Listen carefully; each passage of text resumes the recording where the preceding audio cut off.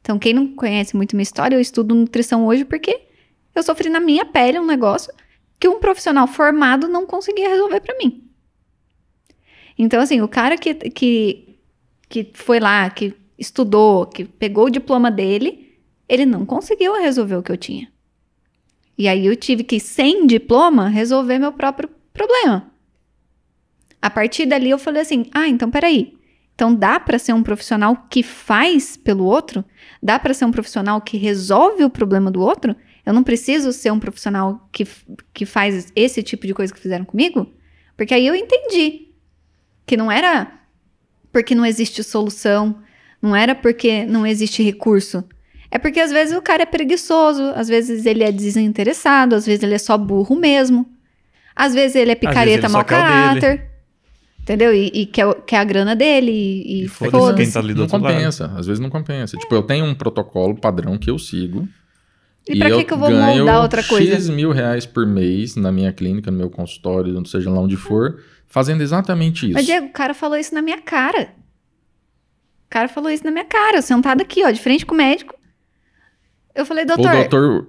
O doutor. de Taubaté. Não é. E aí eu falei assim, doutor, e aí, cara? Porque eu tô aqui, tá doendo, eu tô ruim. Você não tem nada pra você me falar? E assim, um dos melhores. A tua esperança. Um dos médicos mais conceituados do Vale do Paraíba todo. Que é outra coisa também. E já fica uma dica aí pra galera do Vale do Paraíba. Quem souber o nome do cara, deixa aqui nos comentários. Pergunta quem não, que é o mais. Gente, pelo amor Fala, de Deus. Pega a lista dos mais conceituados e risca todos. Pra ficar não, tranquilo. Os caras, não, peraí. Assim, uma, uma outra parada também que ensinaram a gente. Ensinaram a gente que tem os especialistas da parada. Não, não. Na verdade, ensinaram que o médico é Deus. Para começar. Tem os especialistas que você precisa ouvi-los. E os médicos, eles são acima dos especialistas. Não, eles eu acho que Eu acho que a maioria deles é suplente de Deus. É, quase Qualquer Deus, coisa, né? se Deus passar mal, eu curo, tiro ele do rolê e fico. E aí eu posso direcionar a sua vida. Né? É, não, diz, diz, que isso aí é juiz. Meu. é, diz que é juiz. Diz que promotor acha que é Deus, o juiz tem certeza. Aí o médico, a gente tem que achar outra coisa, que Deus não pode mais, porque senão os juízes não vão não, gostar. E aí o cara olhou na minha cara, assim, ó, sentado aqui. Falei, e aí, doutor? Os exames estão aí. E aí, esse cara falou assim: então, deixa eu te falar uma coisa. É, os seus exames não estão me dizendo nada. E se você tá achando que eu vou chegar na minha casa e procurar o que você tem, eu não vou fazer isso, porque eu tinha vindo de outros colegas dele, entendeu? Eu não vou fazer isso. Mas a galera foi te indicando, tipo, os profissionais não conseguiam não, resolver. Eles foram me passando para frente. Esse era o quarto médico. É Aí, tipo subindo escalão. Foi subindo escalão. Você chegou no médico. É, eu passei por um que falou assim, ó, eu, eu não quero que você venha mais, porque o que você tem é psicológico. É, o que ele quis dizer assim, você quer vir aqui pra conversar, sabe? Assim, você tá carente e é, quer ele falou papo. assim, ó, é, o que você tem é psicológico, você não tem um problema, você não tem uma doença, você não tem nada fisiológico e eu não vou te atender mais porque eu estou gastando o meu horário com você. Tá, sem falar do problema, o que que você tinha? O que que você falava para esses caras? Tipo, eu tô com Eu tinha dor. Eu não tinha Os meus Eita. Os meus exames, eles não tinham, eles não apareciam nada, a não ser intolerância à lactose. O resto não aparecia nos meus exames, né? E realmente não aparece, porque eu, o que eu tinha era síndrome do intestino irritável. Então você tinha dor Não é uma doença. abdominal. Tinha uma dor uma distensão abdominal que às vezes eu não conseguia fechar a calça jeans. Entendeu? Então, dependendo do dia, a dor era tão grande que, que eu não conseguia fechar a calça jeans. Tanto que hoje o meu armário, eu quase não tenho calça jeans, eu acho que tem umas duas só, porque o resto é tudo calça assim, com um elástico, porque eu não conseguia vestir. Então eu precisava de algo que não apertasse, porque doía muito. Eu não conseguia deitar e dormir de bruço, porque doía muito. Dependendo do jeito que eu tivesse sentada, eu não conseguia ficar sentada assim, igual eu tô conversando aqui. Eu tinha que ficar assim, porque eu não podia pressionar, doía, demais. E a síndrome do intestino irritável, ela não é uma doença. Ela é uma síndrome de disfunção funcional.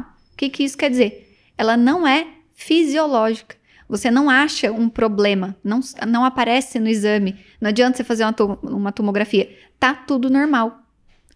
O negócio é, é uma disfunção da função do intestino. Então, às vezes ele contrai mais, às vezes ele, ele contrai menos, e isso tem a ver com outras. Ele tá trabalhando errado. Ele tá trabalhando errado. Não dá para é... ver. E não tem como ver. né? Não é uma doença. Só que, que nem o médico falou, esse quarto e último médico que eu fui. Ele falou assim: olha, você. Eu não vou chegar na minha casa e ficar pesquisando o que você tem, porque eu não tenho tempo para isso. E a hora que eu chegar aqui amanhã, a minha agenda continua lotada, tendo você aqui ou não. Excelente profissional, inclusive. Aí, aí uma coisa ele acertou, que ela tinha algo psicológico, porque depois dessa aí, né? Não tem como ficar bom da cabeça. Nossa, depois dessa aí eu já imaginava eu com um taco de beisebol, assim, né? Mas, mas, assim, eu entendi o que ele quis me dizer. Ele quis dizer assim, realmente, ele foi muito sincero. Ele falou, olha...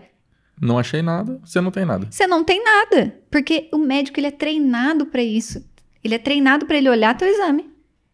para ele ver o que você tem e te dar um remédio. É. É, é qualquer. É, é, é uma profissão um como qualquer outra. No fim das contas, e a galera em deusa. Esse é o lance. Isso. Assim como existem.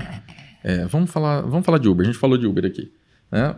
É, esses dias estava em Campo Grande. Aí eu chamei um Uber com uns colegas meus que estavam do interior que tinham ido para Campo Grande para resolver algumas coisas. Aí a gente foi tomar cerveja, comer alguma coisa no dia anterior, assim, do, das reuniões.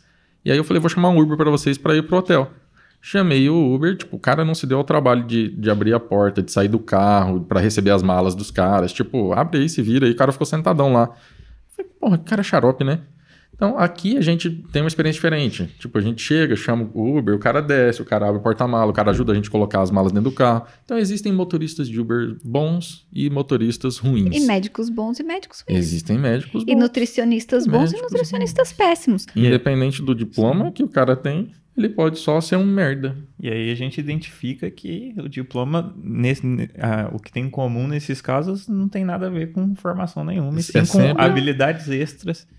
Com o filho da puta que tem o diploma. Esse é o problema. Exato. É, porque tem gente que fala isso para mim. Normalmente quem, quem manda essa não é pessoal de Instagram, não. Quem manda essa é a galera da sua família, assim. As pessoas mais próximas mandam essa, né? Olavo de Carvalho. Fala assim, ô Malu, Pô, mas você fica aí falando de nutrição na internet e você nem nutricionista não é. O que, que você responde? Fala, vai se fuder. Por isso que você tá toda lascada, porque você vai no nutricionista que tem um diploma lindo na parede e que não sabe porra nenhuma. Que ele pega um diabético e manda ele comer bolacha em cracker com margarina de manhã. Entendeu? Excelente. E tem, cara. E tem, porque eu já vi isso na minha mão, entendeu? Então, assim, Pô, você vai falar para um médico que olha para uma pessoa que tem síndrome do intestino irritável, fala que ela não tem nada, que é da cabeça dela, que ele não vai procurar o que ela tem. E o diploma dele na parede? Foda-se se ele é formado na USP, onde ele é formado. Você entendeu? Ele não tem, um, humanidade. Sabe? Pra empatia, empatia mesmo, né? sabe? De olhar pro uhum. outro e falar assim, meu. Eu acho até responsabilidade. A Esse lance tá com do. Dor